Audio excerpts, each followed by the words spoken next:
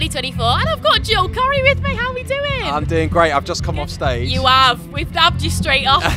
That looked like a vibe out there. that was as a well. party out there. Literally, how was that for you? There's people on shoulders, balls getting thrown. It was good vibe. Like, it's amazing. I can't remember the last time I played in Wales, but it was a while ago. Yeah.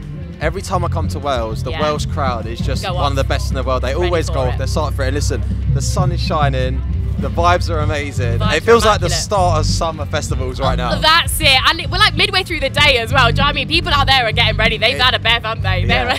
It's, it's such a good setting and an amazing weekend and I'm so happy to be back you know in the UK as well I've been Absolutely. touring around the world so much recently Yeah. so it's just special for me because I'm back on home soil and you know it's just amazing to be here and be back in Wales and kicking it off Exactly. I mean, a world tour. I mean, I knew you were on a world tour because of your social media job, but I also do because I'm very pale and you're quite tan. so I feel like you're showing it all off here. But you've been absolutely everywhere. How has it been? it's, it's incredible like, I'm so grateful to lead this life you know D-. DJing is my hobby since I was a teenager and now I get to go around the world and, and do what I love to do and not a lot of people can say that so Absolutely. I'm grateful for that. You know, I've just been to in the last four weeks. I've literally been around the world. I played in Miami, then I played in Dubai, Wow. then Australia, then China.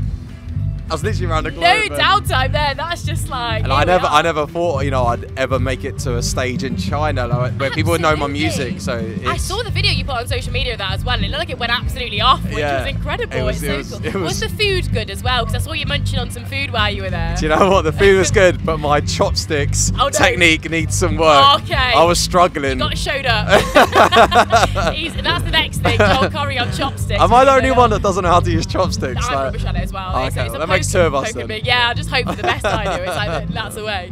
But you did the BAFTAs as well recently, Yeah. which looked really fun. Yeah, it was good. it was a good day out. Um, you know, suited and booted, um, and it was like it was great to be you know at the ceremony and watching everyone get their awards. Absolutely. Um, and then afterwards, I played at the after party, and it was really good fun. I just literally played like bangers.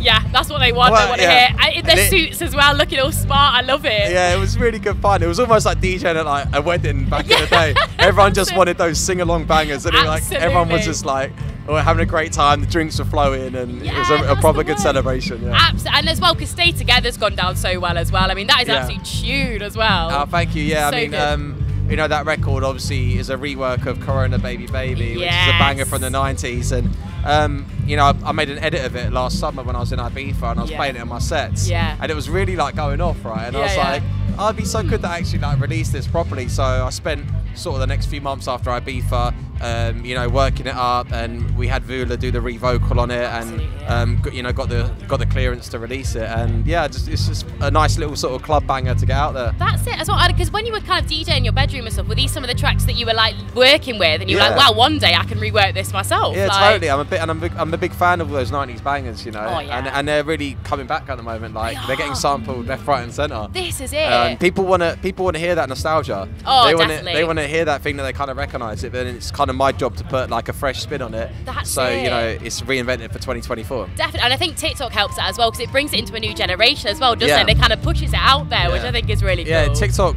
you know, the effect it's had on the music industry is insane. You know, music is more accessible than ever right It now. really is, isn't it? It's like yeah, and it just everything blows up as well. I mean, the Sugababes who are playing tomorrow. I mean, I think Push the Button had a little resurgence like recently as well. And I'm like, it here is, we are. It is like they call So- it the magic of TikTok. You know, sometimes some things just magically start trending and That's start it. spreading, and the next thing they're the biggest song in the world. That's it. Yeah, here we go. It's back. It's back.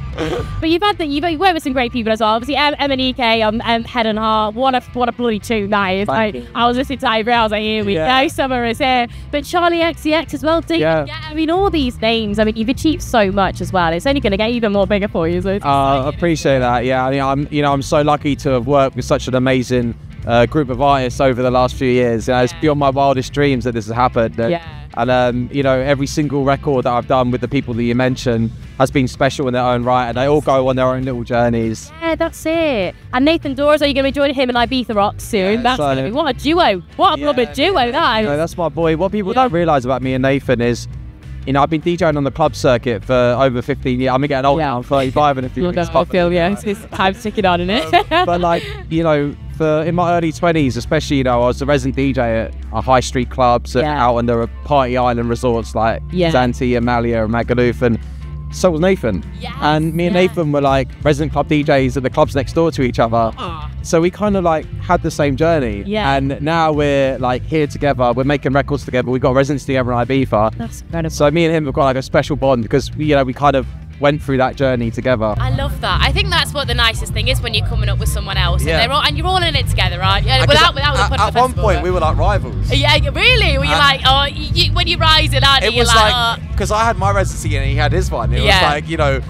you know, it was my night versus his night. yeah. So I got your Um, and but, you know, we both always like had a lot of respect for each other. Yeah. And then and then you know we then both got signed by the same record label, Atlantic Records. yeah, yeah, yeah. And you know, and ended up then working together on 0800 Heaven, which was a huge hit record last year. Yeah. And now we're, you know, in Ibiza together this summer. Yeah. It's ama- It's an amazing journey, and you know, I've got a lot of love and respect for him. Absolutely, and it's so well deserved as well. I mean, you've worked so hard over the years. Well, like, like you just said, I mean, like it's incredible, and your little teenage self must be like inside, just must be so happy. And Oh, must totally, so you know, uh, like, totally, and I always, I'll never forget that either. Like, No. e- even in the moments where, like, because it's not all glamorous, you know, like, Yeah. uh, going around the world and traveling a lot, it, you know, there is like a side to it that's. It's that's- a lot It's, of- it's, it's a gra- it's lot. graft. It's, and it's a Absolutely, grind. yeah. And people don't really see that side of it. No, that's it. um, But in those moments, I'm always like, Joel, don't ever, ever complain about anything.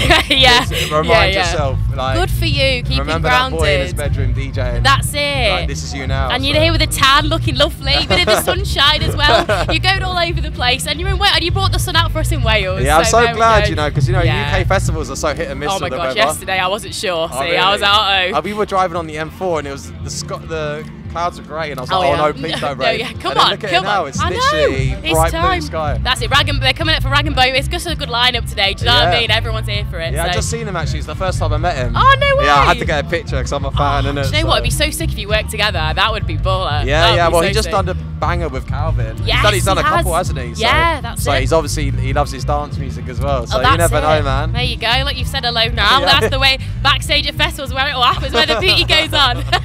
well, Joel, thank you so much for joining me, and go and enjoy the rest of your weekend in the sun, and good luck with the rest of the year as well. It sounds so Oh, exciting thanks. for Thanks you. so much Thank for having you. me. Have the best time, Oh, and uh, yeah, you. enjoy the rest of your weekend too. Thank you so much.